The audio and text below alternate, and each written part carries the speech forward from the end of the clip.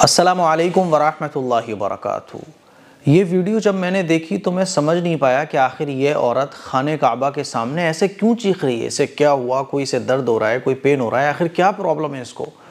कुछ औरतें इसको पानी पिला रही हैं, कुछ साइड से ले जा रही हैं और ये औरत चीखे जा रही है।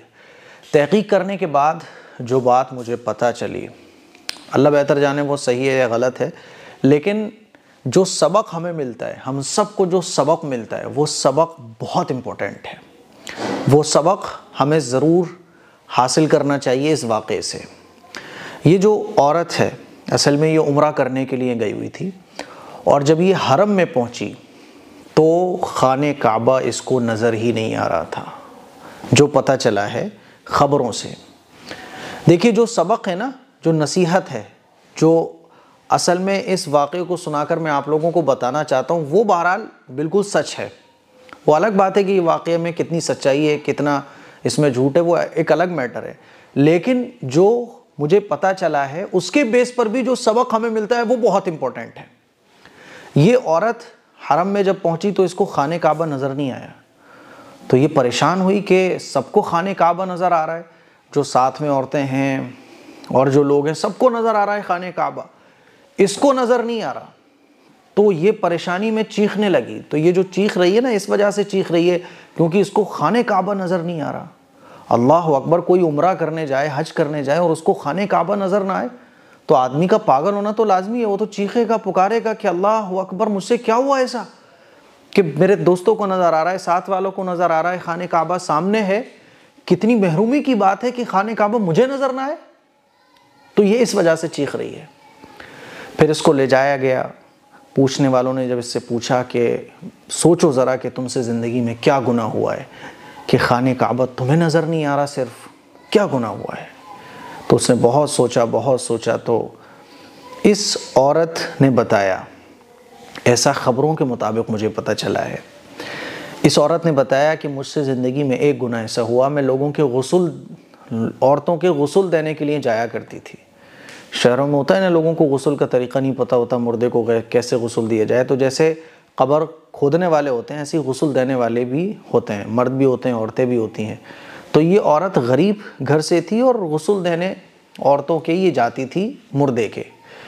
तो एक घर में कुछ भाई रहते थे, है ना? मालदार लोग थे वो लोग। तो उस घर में एक भाई का बीवी के साथ वो कहीं गए हुए थे एक्सीडेंट हुआ और इंतकाल हो गया दोनों मियाँ बीवी का। तो इसको गसल देने के लिए उस औरत को बुलाया गया था। ये उस घर में गसल देने के लिए गई। तो बाकी के जो भाई थे अच्छा इन दोनों मियाँ बीवी का एक्सीडेंट में इंतकाल हुआ, इनके दो बच्चे भी थे, और भी भाई थे घर में।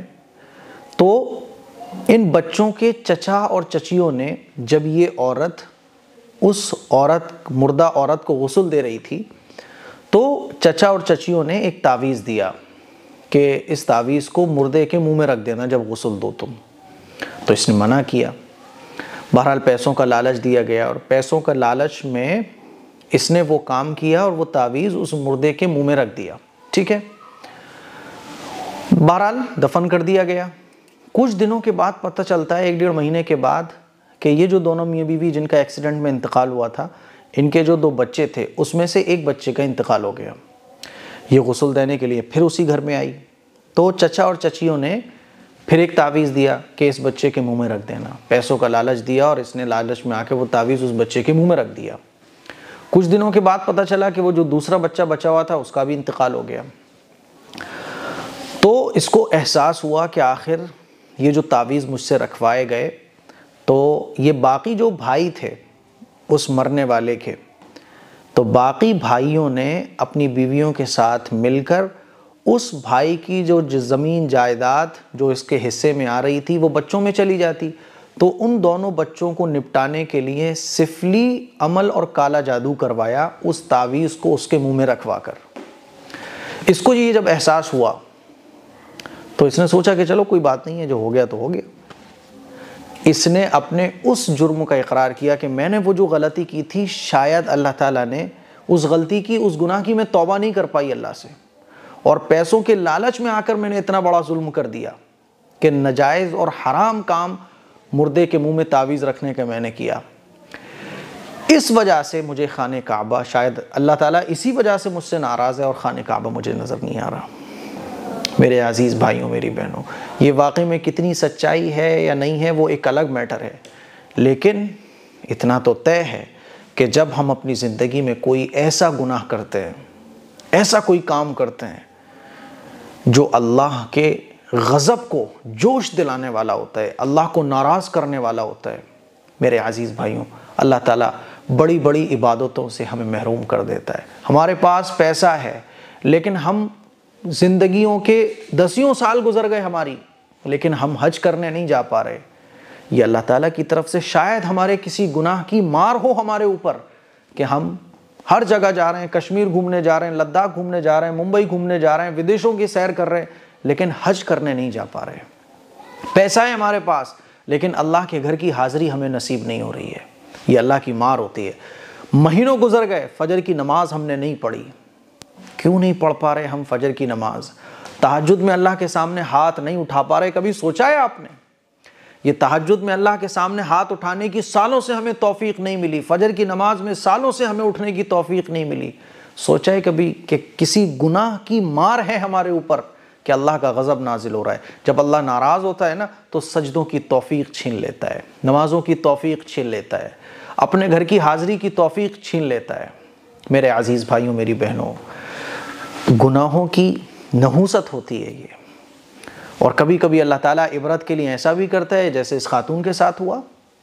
ज़रूरी नहीं है कि हर गुनहगार, बड़े से बड़ा गुनहगार हो तो उसको खाने काबा नज़र ना आए। उसके साथ कुछ और मामला होते हैं। कुछ और अच्छे अच्छे कामों की तोफ़ी उससे छीन ली जाती हैं।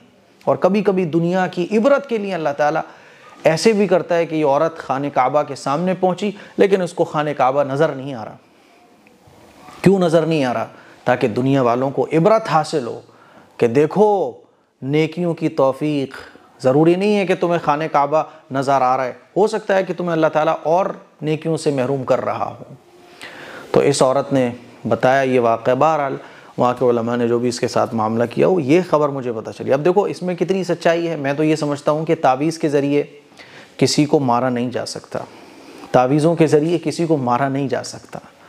हाँ उसने जो गलत अमल किया होगा, उसे लग रहा होगा कि मैंने ये गलत काम किया है, क्योंकि किसी के भी कहने पर गैर शर्ई काम करना, गसल देना मैत को ये बड़ा अजीम शान अमल है। हुजूर ने इसकी तारीफ़ फरमाई। अब आदमी इसी में अगर ख़यानत करे, इसके बदले में पैसे लेकर कुछ गलत काम करे तो ज़ाहिर सी बात है, कुछ गुनाह तो वो होते हैं जो डायरेक्ट हमारी ज़ात से मुतल होते हैं, और कुछ गुनाह वो होते हैं जो दूसरों से मुतल होते हैं।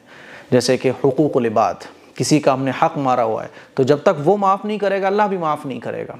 तो मैत को गसल दिया और अच्छे काम, गसल देना अच्छा काम है, लेकिन उसके साथ गलत काम किया इसने। तो हो सकता है कि अल्लाह ने इसी नहूसत की वजह से इसको धुतकारा हो। तो मेरे अज़ीज़ भाइयों, ये वाक़ सुनाने का मकसद है, हम अपने अंदर गौर करें। ये वाक़ हो सकता है, गलत भी हो सकता है, कुछ और वजह रही हो, या इस वाक़े को सोशल मीडिया पे ये औरत चीख रही हो सकता है इसके दर्द ही हो रहा हो, है ना? हो सकता है कुछ और हो, ये वाक़ गलत भी हो सकता है, लेकिन इबरत के लिए ये वाक़ बिल्कुल सच है और ऐसा है बिल्कुल हकीकत में। असल वरहमल वर्का